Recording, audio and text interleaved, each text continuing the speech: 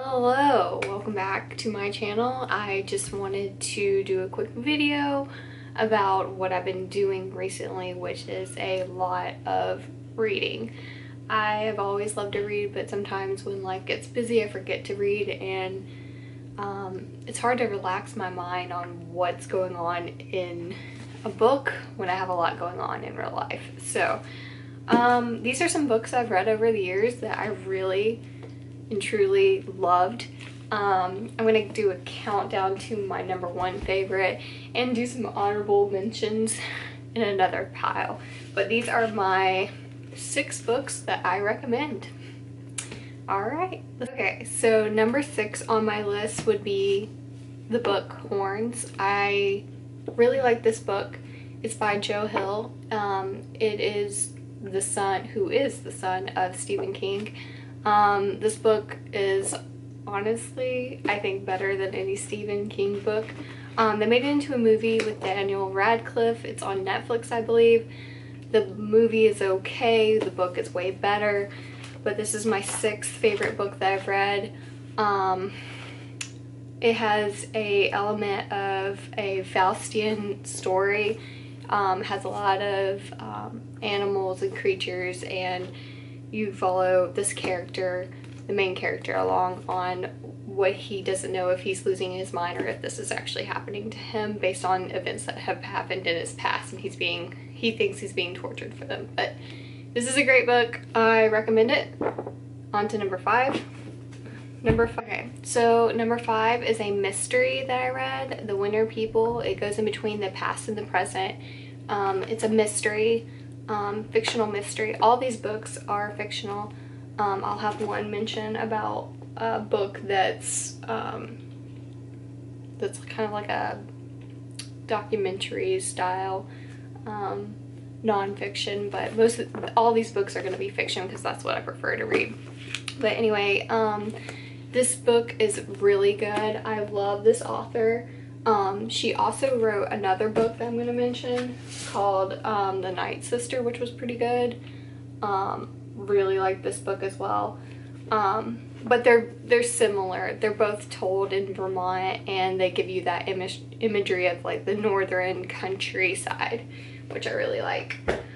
Okay, number five, four. Sorry, number four is Gone Girl. Of course, this was a great book. Um, I love the way this was written. Um, you, it's a definitely a mystery. You'll halfway through be like, what? It, like because it changes perspectives between the wife and the husband. Um, just love the way this is written. Another really good book by Gillian Flynn. It Gillian Flynn is Sharp Objects. This is a really good one as well. Um, the TV series, again, not as good as the book, but you know, when is it ever as good as the book? Um, next book is by Alice Hoffman, The Museum of Extraordinary Things. This is a great book. I loved this book so much. It um, is very fantasy, um, but also it has a great scary reality to it. And this is also the author of my favorite movie, Practical Magic. Never read the book, but I'm sure it's great. But this was a really good um, story that's told in the early 1900s, um, New York, and it's about a museum, and it's really good, really good. It, it has a mystical fantasy air to it about like mermaids and like werewolves and stuff like that, so, but it's really good. Number two would have to be Meddling Kids. This is like my second favorite book. It was so good. Um, another book another book by this author that I've read is the Supernatural Enhancements. It's a good book, but it wasn't as good as this one. This one I highly recommend. Um, the story follows four friends and it's got like a Scooby-Doo sort of feel to it. As you can tell from the, the front cover it's got a dog and like four friends so if you like if you're an adult and you watch Scooby-Doo as a kid you'll probably more than likely love this book so definitely recommend this one my number two and my number one that I absolutely am obsessed with and this author is probably my favorite author right now is um, The Turn of the Key by Ruth Ware. This book is amazing. Um, my number one favorite book right now. I read it last fall and it's got everything. And it's this author likes to read this author likes to write about the UK, um, Scotland and England and London. London is a part of England, but yes, this is amazing. Um, it's got mystery, ghost. Um, you're not sure it, what's if it's a ghost interfering or if it's someone with ill intentions set on going after the family. And then at the end, there's a twist that you don't see coming, and it's pretty scary and it's pretty good. So I really recommend this. Honorable mention though, by another book by this author that I definitely recommend is um, In a Dark Dark Wood. This book was amazing as well. Um, I just finished this book by her as well, The Lying Game. The Lying Game. It's okay. Um, it, it's a very slow burning book, like slow burn. Like you, the last 100 pages is pretty much the essence of the whole story, and it took a while to get there, but it's okay.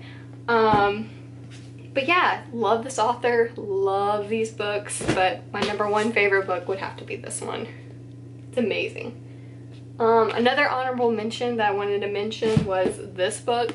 I'm a runner and I read this book when I was kind of looking to find more inspiration and um, this is a nonfiction book and it's about these guys that go to Mexico and do a um,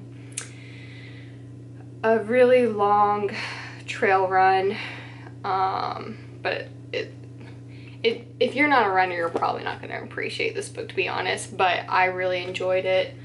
Um, and another honorable mention, I read this on the way back from Iceland. Um, it, it took me two flights, like seven, eight hours. I read this whole book on the ocean at the end of the lane. Um, it's pretty good, but I don't know if I would be as interested in it if I wasn't stuck on a plane for seven or eight hours. So, but it was really, it was pretty good. It was perfect for the flight back to um, the US from Iceland. Um, but yeah, these are some of my favorite books. Uh, definitely highly recommend these two if you're looking for a book to read. Um, these two are definitely my favorites, but hope you guys enjoy this.